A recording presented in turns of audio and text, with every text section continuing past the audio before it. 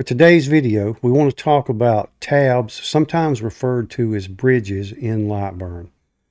On the left, the red tabs are manual, and on the right, the green tabs are automatic.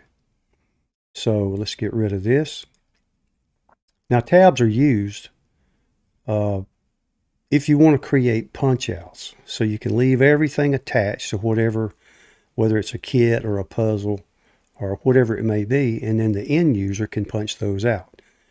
And it allows you to mail them in a flat rather than take it, punching them all out yourself and uh, mailing them in a box.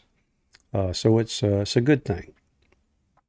So you should have, over in the creation tools, you should have a tabs button. If you don't see it there for some reason, go up to tools and you'll find it here. But if your version is later than 0.9.15, uh, you should be okay. Now, prior to this version of tabs being available, uh, the punch-outs would have to be accomplished by using the perforation mode, which still works fine. And I've done a video recently on it, and if you hadn't seen it, I'll drop it down in the description, and you can go check it out if you like. So, you we, we have our puzzle, we have a border around it, and the border uh, I've left not grouped in with everything else because I don't want any tabs on the outside edge. I just want them on the inside. They'll still pop in sometime, but that's okay. We can deal with it. And the puzzle, the sample puzzle name is a field, so it gets ignored anyway. So let's just select everything.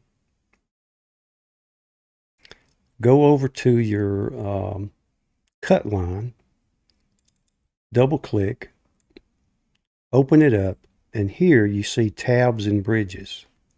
So you want to click to enable that. You can see we're on manual mode and the tab size is 0.5 millimeter. So, and you can change that. We'll go through some of this that you can change. But do that and then click OK. Then go over to the uh, tab selection and click that. Now, we're in manual mode, so you'll see. Now, remember, you can scroll in and out with your mouse wheel. You can push down and move the entire canvas around.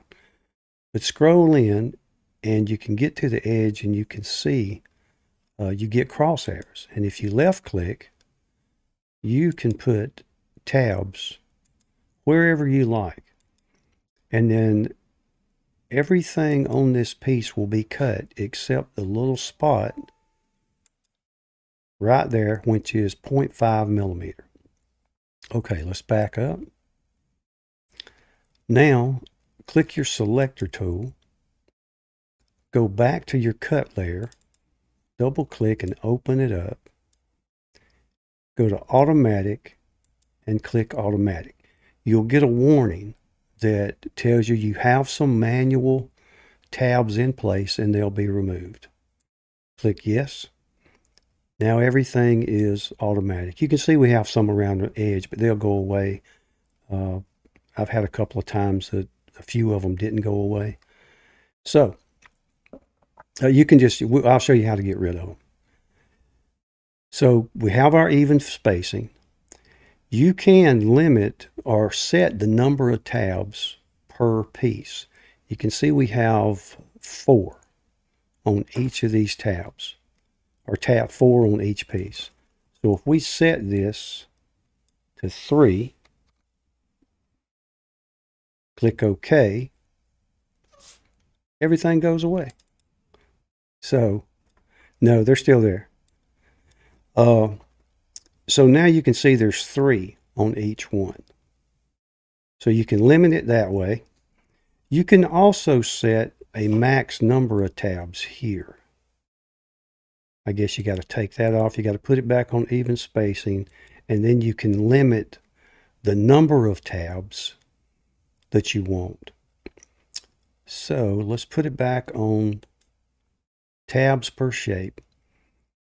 And while we're in here, if you had um, some inner shapes like an eyeball or something like that that you you didn't want tabs on, you want it to go ahead and cut out, then you could click skip inner shapes.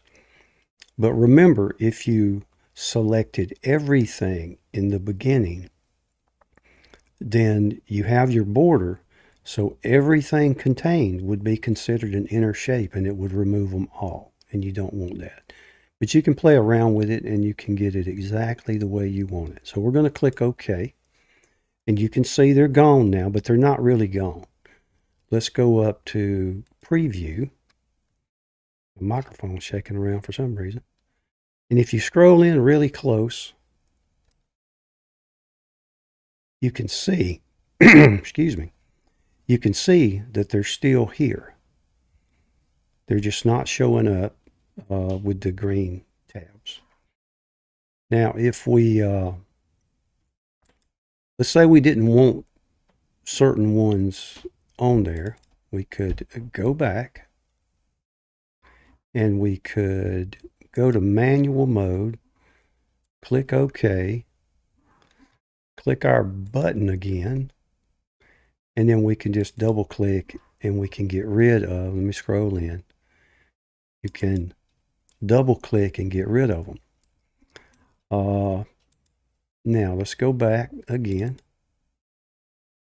Once I figure out how to use something partially, uh, I like playing around with it. So uh, that's how you learn. Let's go back to automatic. It's going to tell us again that we have our manual ones because we messed with it. So we have a stray one up here. We'll get rid of that in a minute.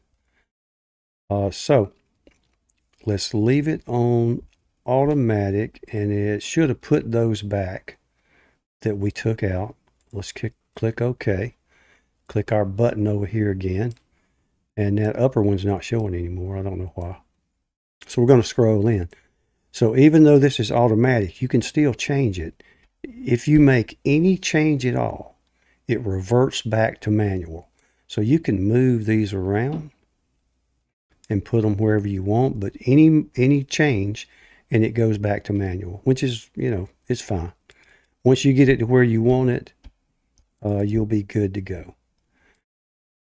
So um, let me look real quick, see if there's anything else in here. I believe that's it. Oh, you can set even spacing. Let's say we're on automatic. Get rid of that again. We're on automatic. The tab size is 50. But if we go to even spacing, uh, depending on your project, you can change that.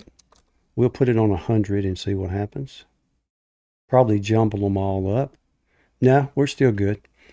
Uh, but you can work with that and uh, get it exactly working the way you want it for your specific project. Uh, so that's about all I know about this right now. If I learn more, I'll let you know. Uh, it's still bugging me. I don't know why that's up there. So if I learn more, I'll let you know about it. Uh, you go out and work with it. And uh, if you learn something new, please let me know. I appreciate the comments and the questions. It helps me as a newbie and it helps uh, other folks that come across it. So thank you very much. So uh, if this was helpful, please like and subscribe. Uh, it not only helps the channel grow, uh, it helps keep me in the shop making videos. I enjoy doing it and sharing knowledge, and I hope it's helpful. So just check back often for new videos. Take care, and we'll see y'all next time. Thank you.